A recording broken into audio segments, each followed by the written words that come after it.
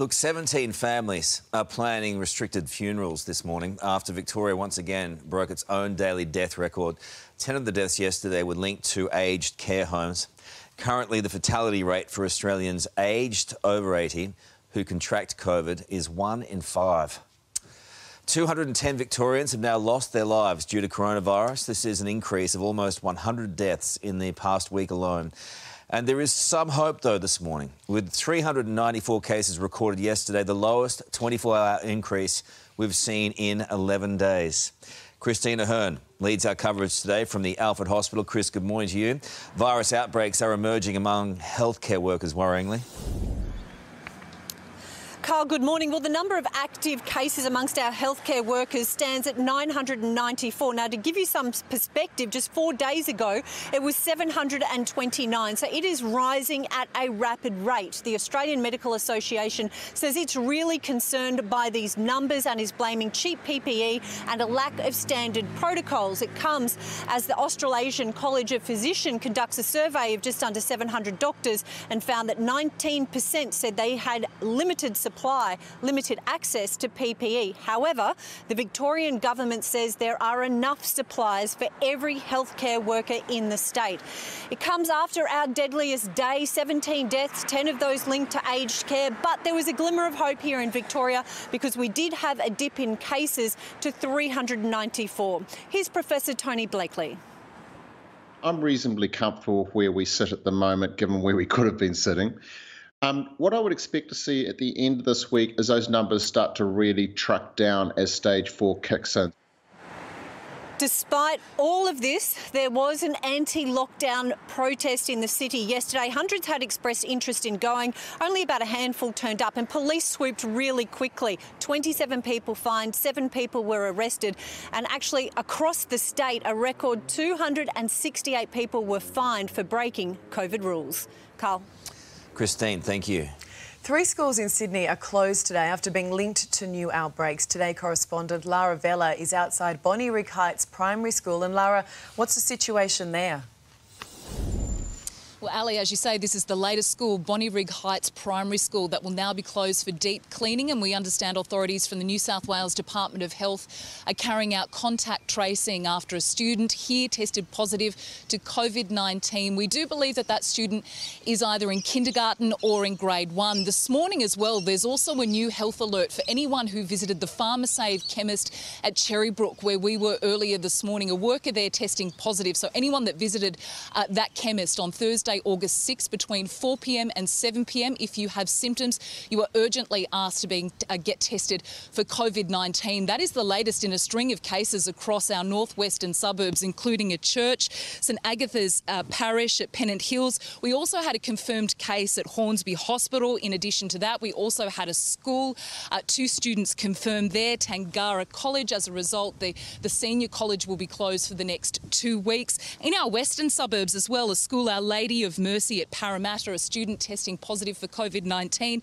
and also a current health alert, uh, Ali, for anyone who visited the Bunnings at Campbelltown between August 4th, 5th, and 6th. If you also are showing symptoms of COVID 19, you are urgently being asked to get tested as well.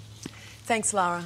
It's now been 14 days since the virus infiltrated Queensland, placing enormous weight on today's case report hoping it will finally rule out any cases potentially linked to the three women who brought it up from Victoria. Ashlyn Kokelis is outside Logan Hospital south of Brisbane. Ashlyn, good morning. It follows zero cases across the state yesterday. That's right, Alex, and that was the seventh day in a row with no new cases here in Queensland. Within those seven days, almost 75,000 tests were done, including many right here at Logan Hospital. It's extremely encouraging, but our Chief Health Officer says she won't breathe a sigh of relief until she gets today's result. She says if we're in the clear again today, she'll look at easing some restrictions, including taking some aged care homes out of lockdown. Meanwhile, there's no signs of relief at all at the Brisbane Broncos. Instead, Chief Executive Paul White has sent out a strong warning to all the players saying they're putting the entire NRL competition at risk at the moment. This comes after Tevita Pangai Jr. on the weekend went to a barbershop opening not long after returning from playing Souths in Sydney. Police were also there as part of the outlaw motorcycle gang task force. It's not alleged the young Broncos player did anything illegal in that regard, but he is clearly breaking the NRL's COVID 19 protocol. He's automatically been stood down for two weeks, so the Broncos will miss him for the next two weeks, and they'll also miss their coach, Anthony Seibold, who's staying in Sydney to attend an urgent family matter. Alex? OK, Ashlyn, thank you. The Morrison government isn't ruling out whether it will need to extend its JobKeeper scheme as it wades its way through the economic fallout of the pandemic. Kerry Yaxley has more details from Canberra for us this morning. Kerry, good morning to you again. Where's this come from? Well, Carl, to paraphrase the finance minister, the only certainty uh, in this situation is uncertainty. The government doesn't appear to be ruling out anything, including uh, extensions to JobKeeper, possible changes around uh, the payments or further changes, I should say. It has already loosened eligibility requirements at a cost of $15 billion. At this stage, it says it plans to go ahead with a reduced rate of $1,200 per fortnight for those who work more than 20 hours a week. Uh, that changes as well as others are due to kick in at the end of September. The government's handling uh, of the crisis, of the pandemic, appears to be well received uh, by voters so far. A Newspoll today has the coalition well ahead of Labor and Scott Morrison well ahead of Anthony Albanese as preferred Prime Minister. But it is, Carl, a long time until the next election, and we know that the polls didn't get it right last time. How far away is the next election? Minimum 12 months. Okay on the New South Wales south coast as flooding forces thousands to evacuate. Hundreds of millimetres of rain has hammered the region, knocking out power to homes and putting rivers on the brink of bursting.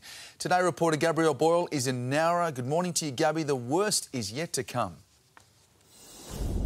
Yeah, it certainly is, Alex. I'm joining you this morning from the banks of the Shoalhaven River and take a look at the mess behind me. This river is usually really popular uh, for boating, uh, water skiing and swimming, but uh, it is a murky, muddy mess at the moment. And I'm not sure if you can tell exactly how fast it's moving, but it has got quite a pace and it's carrying so much debris, trees, logs, all sorts of bits and pieces that it's picked up along the way. And a lot of that debris would have come from up the river further where the bushfires tore through in January.